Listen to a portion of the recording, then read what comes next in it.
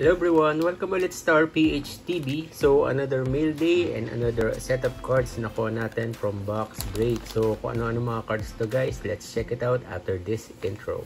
So, ito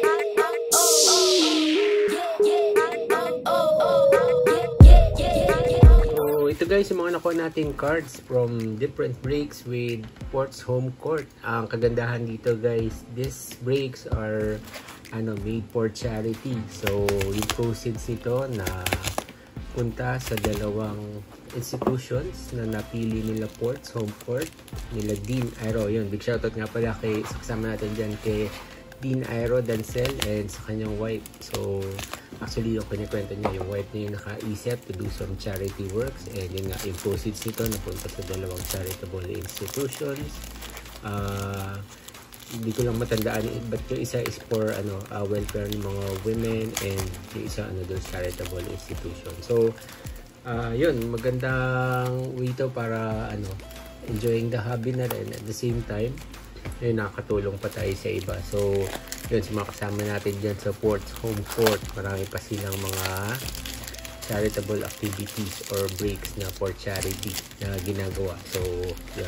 If you want to check them out, uh, look for their Facebook page, Ports Home Court at facebook.com.ph. So, yun.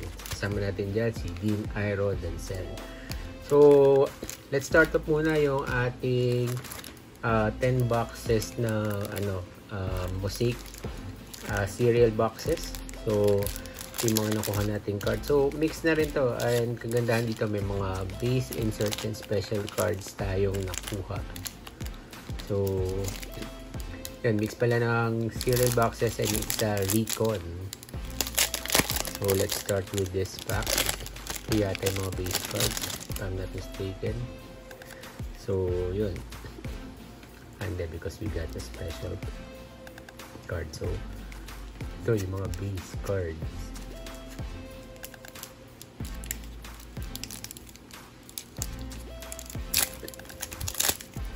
Na tayo nakakapag-video guys ngayon. So, please, uh, yun, please do support our short videos.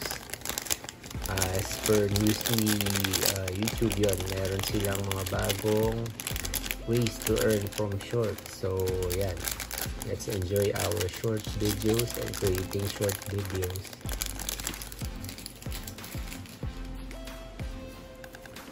So first off, we got this Recon base car ni Emmanuel Quickly IQ5. Then we got this Cam Reddish na base card. So this the not the first time that I got yung New York. So yung ibang cards dito nagdoble na tayo. And yun, yung mga cards dito sinasama natin dun sa ating mga repack. So we want to start the hobby pero ayaw nyo bumili ng mga bagong pack. So please check out the repacks. Marami yung nag-offer sa ating sa mga Shopee pages sa ating mga kasama nag-hobby. So if you want to try ours yun check out yung ating Tower PH collection sa Shopee. So we got yung mga repacks yung hitboxes and yung mga cards na rin on sale. So yung mga hindi natin personal collections yun doon natin pinopost and yun baka interested kayo. So from Recon this uh, rookie card ni Quentin Grimes. So base rookie card lang siya. Quentin Grimes.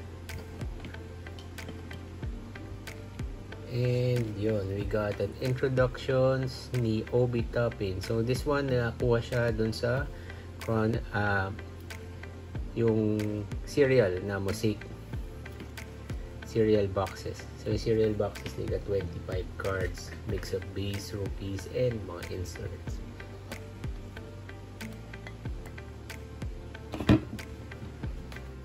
So, those are mostly New York. And this time, we'll check out yung ating mga nakuhang cards from Cleveland.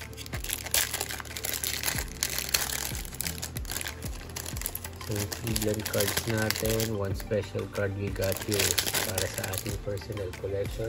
Although na ano ako, collector ako ni Isaac Okoro ng Cleveland. So, medyo malakas ang Cleveland ngayon dahil nasa kanila na si Spider. Donovan Mitchell. Although malakas din naman yung ano, yung nalipat sa Utah, si Colin Sexton. But I think mas magandang fit siya to work with Jordan Clarkson. And yung nagre-rebuild ng Utah. As for the Cleveland, ang lakas ng lineup nila ngayon with Evan Mobley, and si Darius Garland, Jarrett Allen, Isaac Okoro, and the Spider. So, yun. So, we got Lamar Stevens na rookie card. And yung isa nating PC, pink camo ni Larry Nance Jr. I-check out kung meron na ako nito. Pero I think wala pa. So, pandagdag siya sa ating collection ng Larry Nance Jr. And as said, one of the uh, all-star ng Cleveland, si Darius Garland. And yung NBA debut ni Isaac Okoro. And another copy of NBA debut of Isaac Okoro.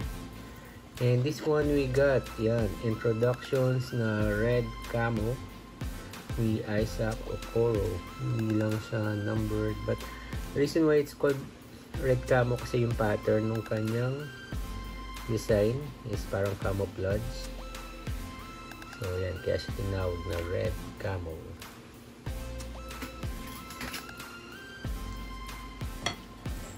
Ano natin si Quartz home court. And the last pack natin guys, yun, medyo may special card tayo dito. We got one of the hits. Hindi naman super major hit but still a hit.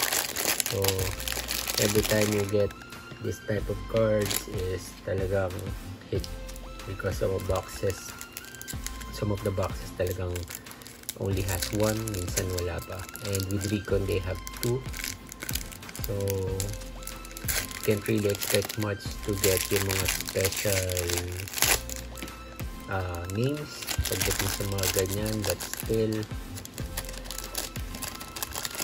we give ano pa rin credit din sa mga players who are taking time to give or put their signatures. Although sticker sticker signatures na siya dinidikit sa card but still yan we got the base card ni RJ Barrett kasi we got si Reggie Bullock another copy Reggie Bullock si Alfred Payton. Yun ang ating si paborito si Derrick Rose. And medyo maganda yung pinost niya recently. So this has been his healthiest feeling daw after 13 years. So looking forward sa magandang plays. Sana lang makaiwas talaga sa injuries. Paboritong Derrick Rose so he will he be able to spend his last few years sa kanyang NBA career hopefully at his peak. And we got another Alfred Payton we've got an Obi Toppin and we got a red camo a red mosaic ni RJ Barrett.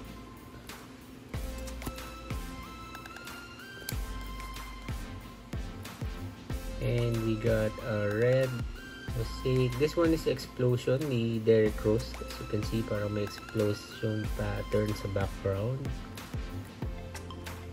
ah, this one pala is also an explosion. Hindi lang masyadong kita. Yan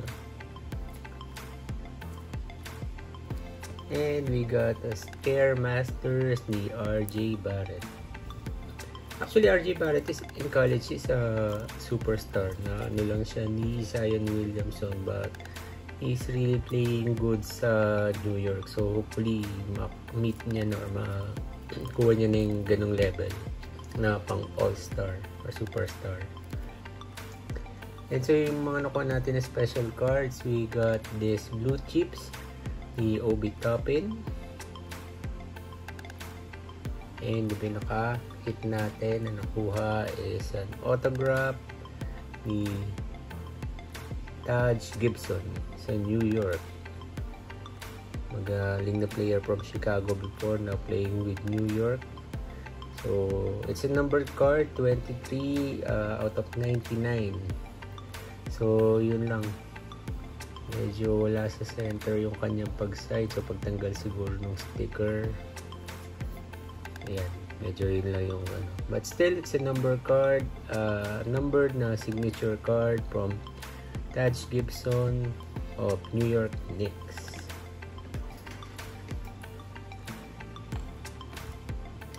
And guys, so sa mga nag-start pa lang mag-collect, so yan, some of the cards na mas uh, may value ngayon, uh, once you get them is yung mga rookie cards, but some of the other cards na mataas lang yung value over time. So, something to watch out din yung mga rookies natin kasi nga, uh, first 2 to 3 years din lumalabas yung they are going to be a star or superstar, but yun, some of them na rin uh, on second or third year nawawala na sa liga. So, you have to choose your, to pick your rookies wisely. And if you are going to collect cards, yun, make sure na nanonood talaga kayo ng NBA. So, you'll be able to check the statistics and how these players play para ma, ano yan. But for some of us or for most of us, if we do love or enjoy a player like for us, ang PC natin si Kobe Bryant, Larry Nance Jr., Isaac Okoro, and Kevin Love. So, most of these people, I try to emulate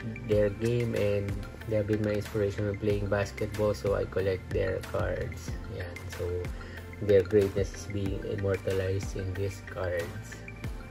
So, yun guys, yung mga nakuha nating cards from Force Home Court. Ayun, big shoutout again kay Dean Iro Dancel and sa kanyang wife at sa mga kasama natin dyan sa box break. So, please continue uh, with what you're doing. Maganda itong ginagawa natin at we're doing breaks for a cause and maraming nakaka ano, experience no good heart ng mga collectors and breakers ng NBA trading cards.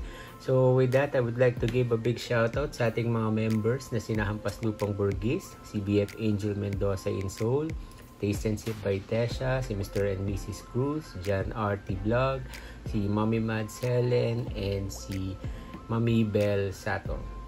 So, yun. Also, big shoutout sa ating mga kaibigan dyan sa YouTube na bookbangers, ASM artists, content creators, bloggers, gamers, action figure collectors, and NBA trading card collectors.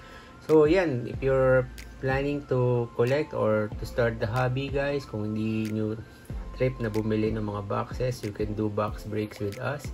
Check out yung Facebook ni Ports Home Court And also, you can check out this collection sa ating Facebook page na Tower PH Collections. And if you are interested, you can also check out our Shopee page.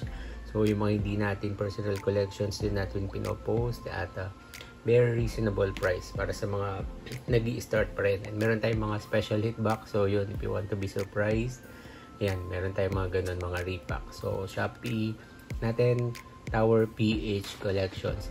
So yun guys, hanggang dito na lang. I hope you enjoyed this video and don't forget to click like and share na rin sa mga kaibigan natin na kakilala natin na nagko-collect ng NBA trading cards na nag enjoy dito sa hobby. And if you are starting pa rin or if you are into collections, please do subscribe to our channel, Tower PH TV. And don't forget to hit that notification bell para ma-notify kayo pag meron tayong mga bagong videos. So again guys, uh, also yun nga, let's support our short video. So, please do enjoy. Panorin natin mga short videos natin sa YouTube. So, yun. Again, guys, this is Albert Remo from Tower PH TV. Until our next video.